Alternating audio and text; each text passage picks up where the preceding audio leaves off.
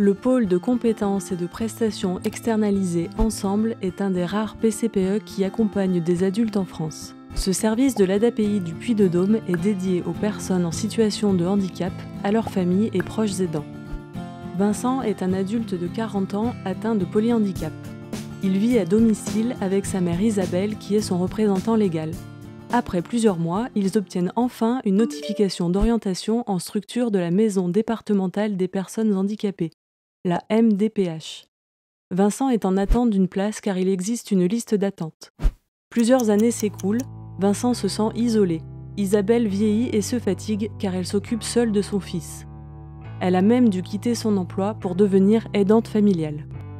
Vincent et Isabelle ont une vie sociale restreinte et sortent peu de chez eux. Ce foyer fait donc partie des situations que le rapport Pivoto définit comme une absence de parcours étant donné l'attente de place en établissement adapté. Le PCPE Ensemble tend à repérer et prévenir les risques de rupture de parcours. Sans solution de prise en charge pour Vincent et Isabelle, Sandrine, représentante du PCPE, se propose d'intervenir pour coordonner des actes médicaux et sociaux en utilisant une méthode de coopération. Elle apporte des solutions concrètes à domicile par l'intermédiaire de partenaires comme par exemple des professionnels du libéral. Elle répond aux questions et aux problématiques de Vincent et Isabelle grâce aux compétences de son équipe pluriprofessionnelle. Sandrine soutient et prépare l'aider et l'aidant à l'accueil en structure avec la possibilité de visite ou parfois de séjour temporaire. Sandrine rencontre Isabelle et Vincent à leur domicile pour évoquer avec eux leurs attentes et leurs besoins. Cela peut être une simple écoute, une envie d'activité ou de loisir, une aide administrative, des soins divers comme de la kinésithérapie, ou encore une mesure de protection, c'est-à-dire une tutelle.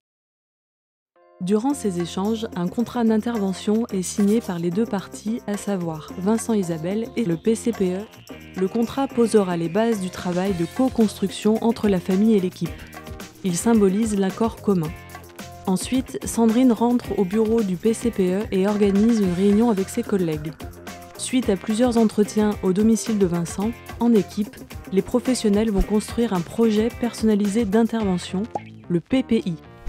Il est créé en collaboration totale avec Vincent et Isabelle. Il est le fil conducteur de l'accompagnement pour que Vincent reste au cœur de la prise en charge.